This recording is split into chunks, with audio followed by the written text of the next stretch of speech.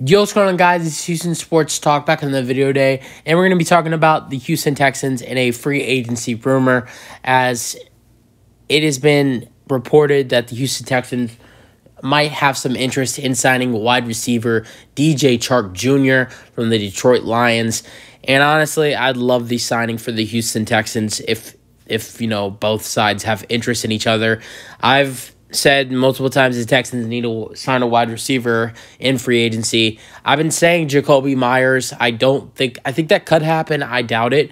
But personally, I'd rather have DJ Chark Jr. than Jakobi Meyers. I think both are really nice young wide receivers, but I think DJ Chark has way more talent than I really think. I mean, look how he played in Jacksonville.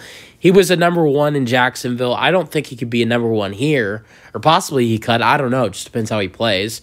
Uh, he just wasn't a number. He wasn't the number one in my in Detroit because they had Amon-Ra, uh, and even even though he wasn't healthy, they had Jameson Williams. So he, he was more looked at the number three wide receiver there.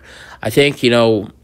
I think in a in a different offense with the Texans, I think he definitely could become a number one.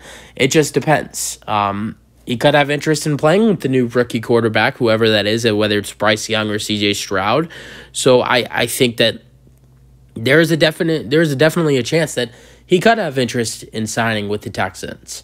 Um, I like the fit. He has he had 30 receptions this season, three touchdowns, 500 yards, and also missed some time a little bit. He, he didn't play every single game this season. He missed like five or four games, I believe.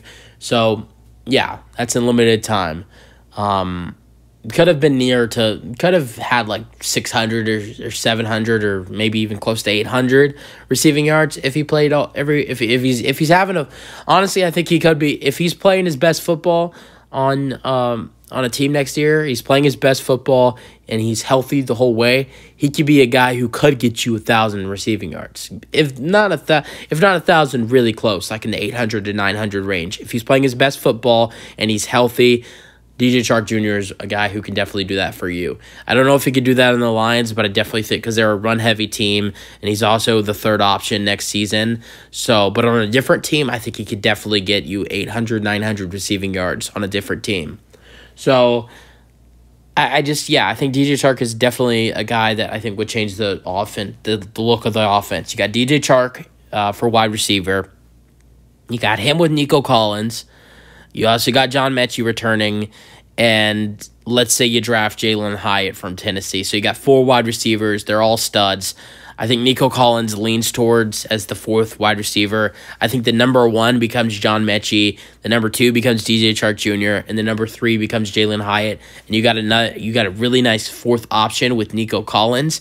And then you got a quarterback in Bryce Young or CJ Stroud with a really talented wide receiver group. So I really like what a potential wide receiver group would look like of DJ Chark Jr., John Metchie, Nico Collins, and potentially someone like Jalin Hyatt uh, if you draft them in the second round. I think that would be another guy that I would be looking in to bring in from the draft. So you got those four guys in from free agency in the draft, and John Metchie returning from health issues in, in 2022, and Nico Collins hopefully being healthy next season. You got a nice wide receiver group, group for a rookie quarterback, whether it's CJ Stroud or Bryce Young. That's whoever's throwing the football. Um, Bryce or CJ. It's a really talented wide receiver group. So I think that DJ would be a definitely great option for the Texans to just figure out what happens in free agency. I think the Texans will definitely sign a decent wide receiver in free agency. Just don't know who that is. Maybe it's Jakobi, maybe it's DJ, maybe it's somebody else. We'll see. That's it for the video. Hope you guys enjoy them and thoughts, and peace out. Go Texans.